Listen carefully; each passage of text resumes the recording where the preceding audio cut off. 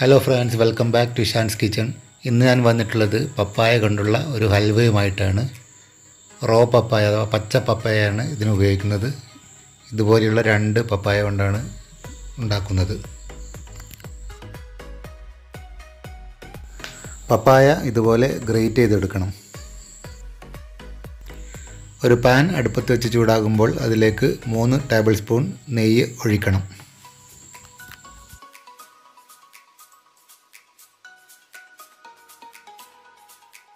നെയ്യ് ചൂടായി കഴിയുമ്പോൾ അതിലേക്ക് കുറച്ച് അണ്ടിപ്പരിപ്പ് ഇടുക. നിങ്ങളുടെ ആവശ്യാനുസരണം ഇടാവുന്നതാണ്. അണ്ടിപ്പരിപ്പ് ഒരു ലൈറ്റ് ബ്രൗൺ ആയി കഴിഞ്ഞാൽ അതിലേക്ക് കുറച്ച് കിസ്മിസ് ഇട്ട് കൊടുക്കുക.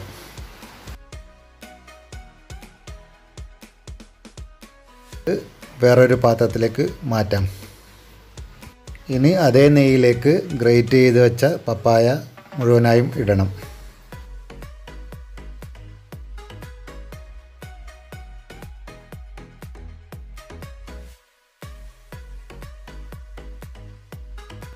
ഇനി അങ്ങോട്ട് ഈ പപ്പായ ഹൽവ റെഡിയാവുന്നതുവരെ ഇളക്കിക്കൊണ്ടേയിരിക്കണം. ഈ ഒരു പാകമാകുമ്പോൾ ഇതിലേക്ക് ഒരു പത്ത് ടേബിൾ സ്പൂൺ പഞ്ചസാര ഇട്ട് കൊടുക്കുക.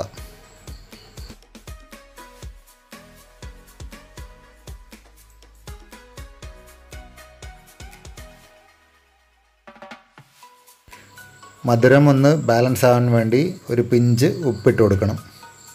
ഇനി ഒരു ടേബിൾ സ്പൂൺ ഏലക്ക പൊടിച്ചത് ഇട്ട് കൊടുക്കുക.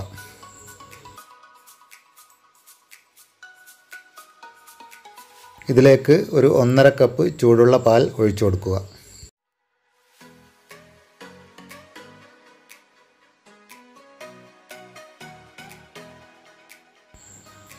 ഒരു കപ്പ് കണ്ടൻസ്ഡ് മിൽക്ക് ഒഴിച്ചു കൊടുക്കണം.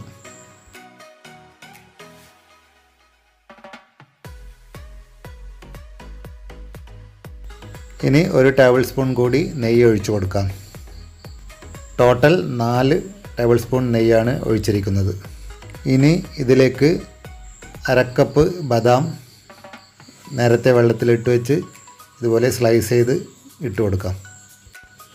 ഫ്രൈ ചെയ്ത് വെച്ചിരിക്കുന്ന കാഷ്യൂ നട്ടും കിസ്മിസും ഇടുക.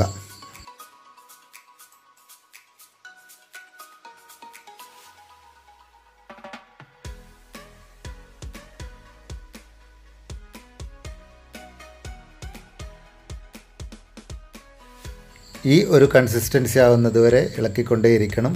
ഇനി നമുക്ക് ഇതൊരു എണ്ണ പുരട്ടിയ പ്ലേറ്റിലേക്ക് മാറ്റാം.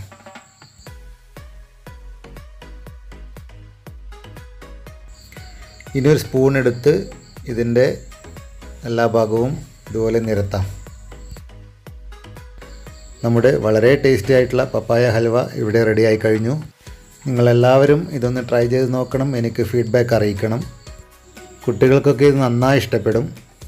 എന്റെ ഇന്നത്തെ വീഡിയോ ഇഷ്ടപ്പെട്ടെങ്കിൽ എല്ലാവരും ലൈക്ക് ചെയ്യുക ഷെയർ ചെയ്യുക. കൂടാതെ എന്റെ ചാനൽ ആരെങ്കിലും സബ്സ്ക്രൈബ് ചെയ്തില്ലെങ്കിൽ ഒന്ന് സബ്സ്ക്രൈബ് ചെയ്യണം.